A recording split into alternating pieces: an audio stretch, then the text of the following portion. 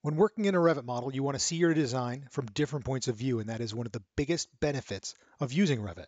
But as you do that, you end up cutting a lot of views, and that list of views can start to get out of hand.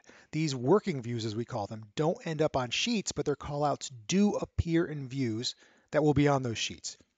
And any unreferenced tags can make it look like you haven't finished your documentation properly.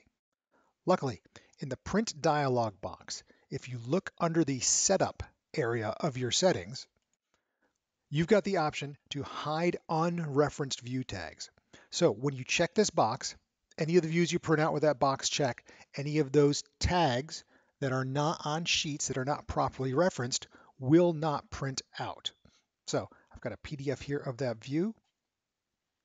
Here's that view printed out. You'll notice that unreferenced tag is no longer there.